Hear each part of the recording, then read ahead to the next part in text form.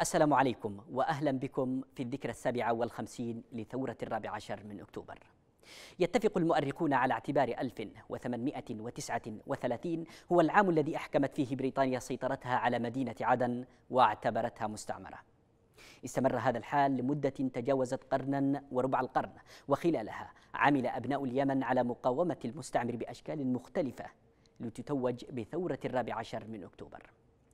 كانت الثورة الأم في السادس والعشرين من سبتمبر 1962 هي الملهمة للأحرار والمناهضين للمستعمر ففي نجاحها توفرت الأرضية لثورة الجنوب وكانت مناطق إب والضالع وتعز والبيضاء ذخائر الثورة من الأرواح والدماء التي ضخت إلى جانب دماء وتضحيات أبناء عدن ولحج وأبين وشبة والضالع والمهرة وحضرموت ليحيا كامل الجسد اليمني.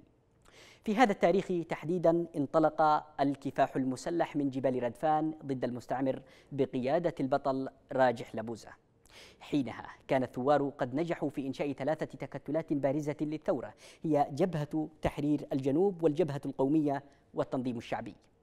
اتخذ الثوار أساليب مختلفة منها الكفاح المسلح ومنها النضال السلمي بما فيه من مظاهرات وإضرابات عمالية ونقابية.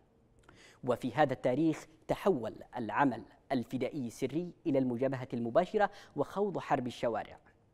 وفي مطلع العام 1967 وصل العمل الفدائي للثوار إلى مستعمرة عدن سابقا.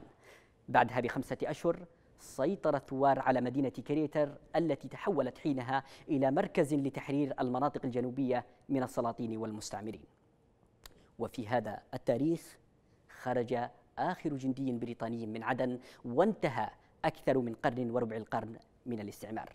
بذلك نجحت ثورة في تحرير 23 سلطنة ومشيخة لتدخل جميعها في إطار ما عرف بجمهورية اليمن الديمقراطية الشعبية والتي توجت بعد 23 عاما بإعلان الوحدة اليمنية في الثاني والعشرين من مايو 1990 اليوم والثورة تعيش ذكراها السابعة والخمسين.